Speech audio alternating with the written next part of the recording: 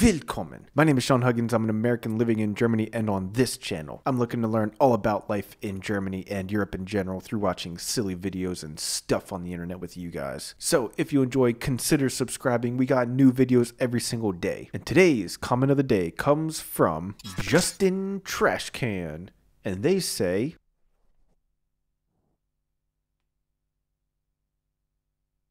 Wow, Justin, thank you so much for the comment.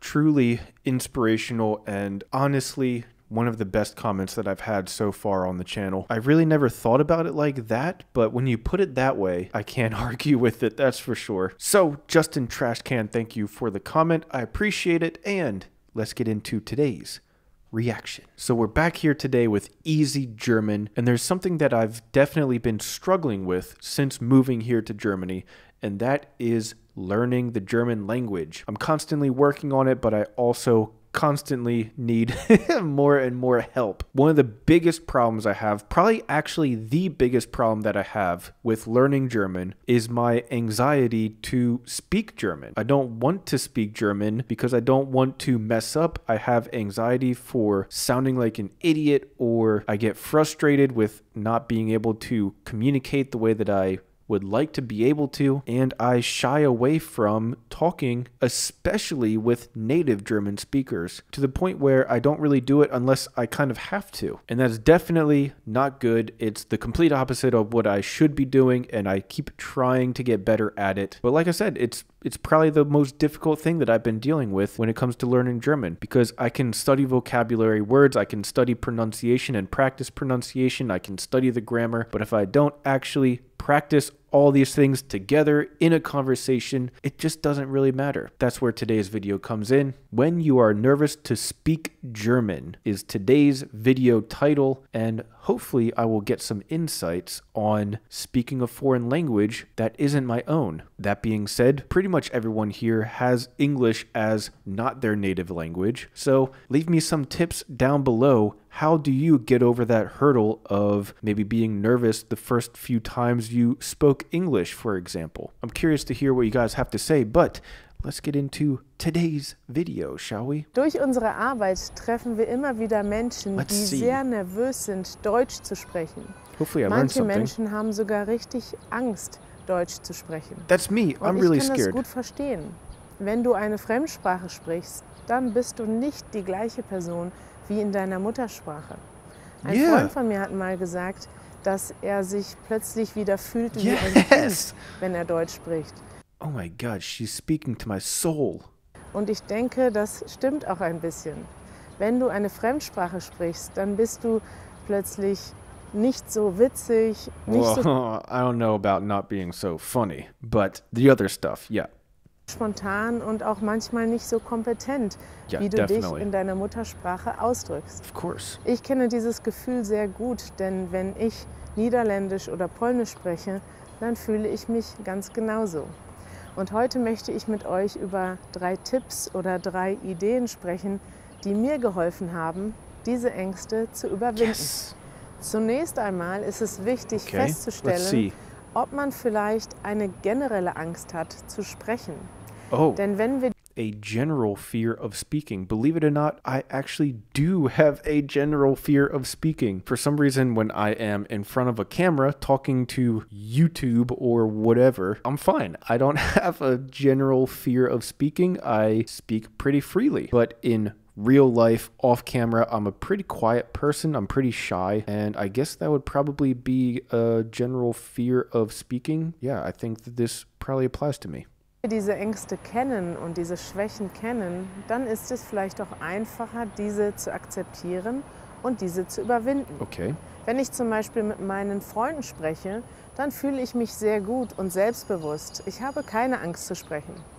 Aber wenn ich zum Beispiel irgendwo anrufen muss oder vor meiner Klasse stehe oder plötzlich auf einer Bühne vor vielen Leuten stehe, dann habe ich plötzlich sehr viel I'm Angst zu definitely sprechen. scared of that stuff. Und wenn sure. ich diese Angst in meiner Muttersprache schon habe, dann ist sie vermutlich in einer Fremdsprache sehr viel stärker ausgeprägt. Yeah. Und dessen muss ich mir einfach bewusst sein. Okay. Ich persönlich hatte alle von diesen genannten Ängsten und es hat mich sehr lange gekostet, diese Ängste auch zu überwinden. Am Ende hat es mir aber geholfen, mich immer wieder dieser Herausforderung zu stellen. Und dadurch bin ich auch nun in anderen Situationen viel selbstbewusster. Zum Beispiel, wenn ich eine neue Sprache spreche. Oh, Der zweite okay. Tipp ist, finde einen So I need to be less shy of a person, even in my native language. All right, that's a good first tip, I think. Weg, um immer wieder deine Grenzen zu testen. Viele Okay. Deutschlerner finden es What schwierig, diese erste Hürde zu meistern, um flüssig Sätze zu bilden. Du hast vielleicht schon A2 oder B1-Niveau erreicht. Ja. Das heißt, du kannst schon ziemlich viele Vokabeln und du kennst die Basis der deutschen Grammatik. Aber du By the way, I think that I am probably around that range, the A2 to B1 range. I never took any formal tests or got any certifications or anything like that, but from what I can tell, I'm probably around that range, the A2 to B1 range. kannst noch keine flüssigen Sätze in einem Gespräch bilden. In Deutschland, denke ich, habt ihr es dabei besonders schwierig. Denn viele Menschen wechseln direkt ins Englische, wenn sie sehen, Ja. dass du ein Problem hast, einen flüssigen Satz zu bilden. Yeah, people in Germany definitely switch to English very quickly, especially my friends, which I am very appreciative of because when I first came to Germany, I was like an A1 level. I didn't know anything. And I still don't understand a lot of stuff when people are really talking fast in German. But if people only ever spoke German to me, I don't know, maybe it would have been so incredibly difficult, but maybe I would have been farther along. I probably would have been farther along in my German learning. But man, that would have been that would have been heavy. Im Polnischen zum Beispiel, wenn ich Polnisch lerne, habe ich dieses Problem nicht so sehr. okay. Wenn ich zum Beispiel in Polen etwas bestelle, dann läuft das Gespräch oft so ab. Ich bestelle etwas auf Polnisch.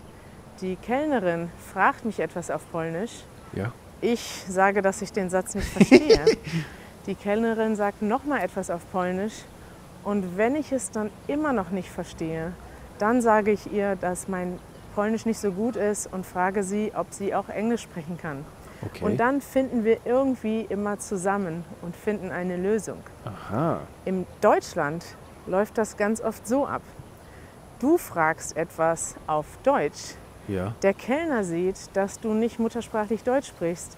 Er will es dir einfacher machen und wechselt sofort ins Englische. Ja.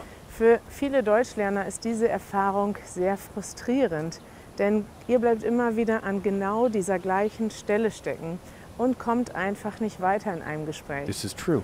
Was kann man also tun, um immer wieder seine Grenzen zu testen? Ich denke, ihr könnt zwei Sachen machen. Okay. Erstens könnt ihr immer wieder ein, eine Gesprächssituation herstellen, in der ihr einen Schritt weitergeht. Zum Beispiel könnt ihr einen Freund bitten, zweimal die Woche mit euch 30 Minuten Deutsch zu sprechen, ohne in eine andere Sprache zu wechseln. Okay. Viele multikulturelle. Paare haben zum Beispiel so eine Regel, dass sie immer zu bestimmten Zeiten eine Sprache sprechen und zu bestimmten Zeiten Aha. eine andere Sprache. Und dadurch helfen sie sich gegenseitig, sich nicht in einer anderen Sprache zu unterbrechen. Ein anderer Tipp wäre, bestimmte Sätze, Okay. mit denen ihr manchmal Schwierigkeiten habt, von vornherein auswendig zu lernen.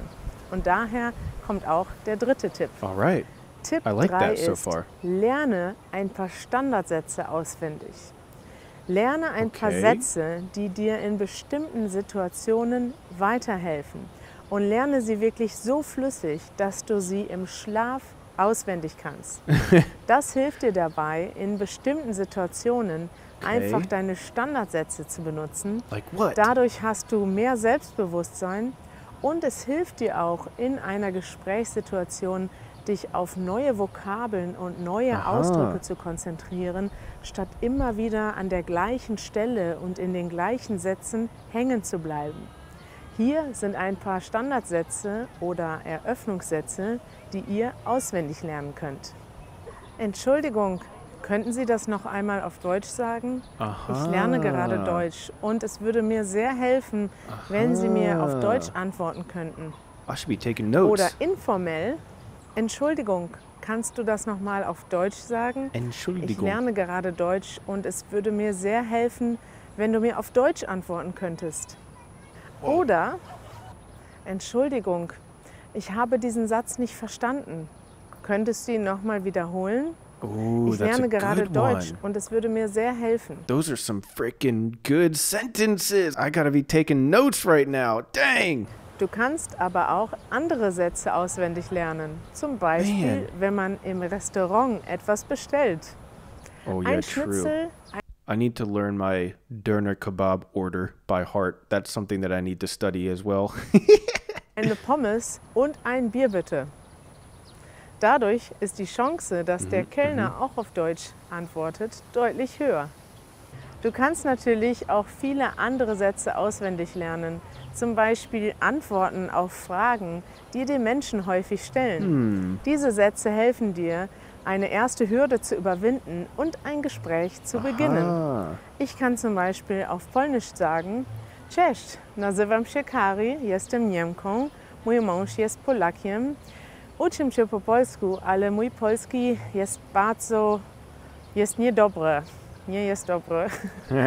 Klingt schon fast ein bisschen fließend, aber tatsächlich kann ich gar nicht so viel sagen. Und das macht aber nichts. Ich kann mit diesen paar Sätzen eigentlich immer ein kleines Gespräch beginnen und es ist immer ein bisschen witzig in Polen. Und das könnt ihr auch in Deutsch machen. Ah. Das war unser Video für heute. Wir hoffen, es hat euch gefallen. Wow, that was actually very educational and very interesting. I definitely think I need to memorize more of these common sentences like she suggested. That was a very good idea. I mean, I know a lot of the basic sentences and words and stuff, but I think I need to start memorizing more complex sentences that are a lot longer and have a lot more grammar rules actually coming into play and not just the most basic short little sentences, if that makes sense. But at any rate, I need to hear from the professionals. You guys are the ones that are speaking English as your not native language, so you guys know how this works. Drop all of your suggestions down in the comments. Let me know how you got over that first hurdle of speaking English for the first time. And now, Look at you, you're all over YouTube commenting in English. Any tips or tricks or anything like that is greatly appreciated. I'll definitely be taking a look at all of them. But at any rate, that's all the time that I have for today. If you enjoyed, consider subscribing. We got new videos every single day. Check the links in the description for all of my other social media, including my vlog channel. Thank you guys so much for being here, and as always, I'll see you guys tomorrow. Peace.